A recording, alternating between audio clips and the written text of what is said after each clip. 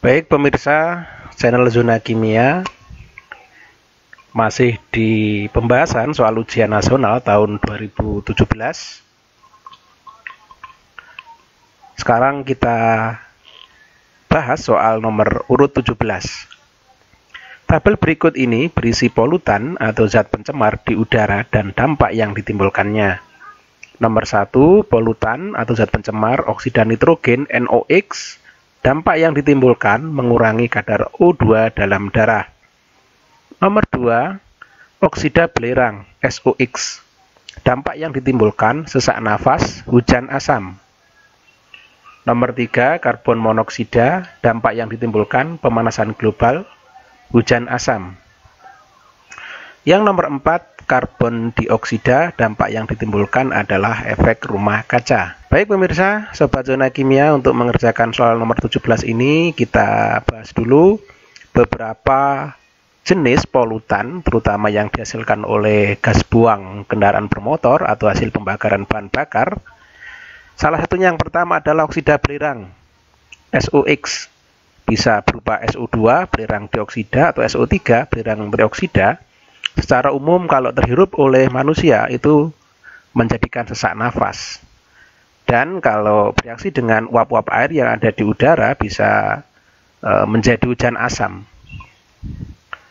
Untuk oksida karbon COX bisa berupa karbon monoksida atau bisa berupa karbon dioksida. Untuk karbon dioksida sendiri kita sama-sama tahu bahwa karbon dioksida merupakan penyebab utama pemanasan global atau efek rumah kaca.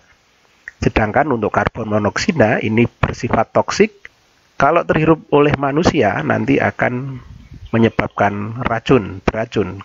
Karena karbon monoksida lebih cepat diserap oleh darah dibanding dengan gas oksigen.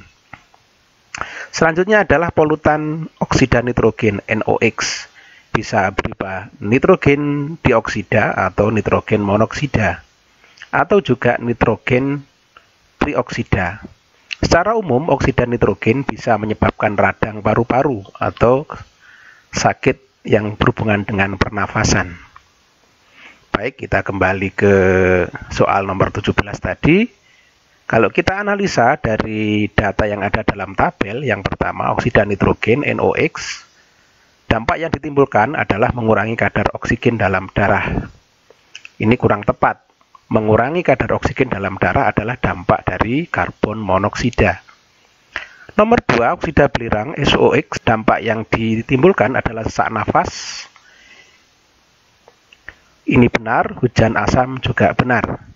Kemudian karbon monoksida, di sini ada dua dampak.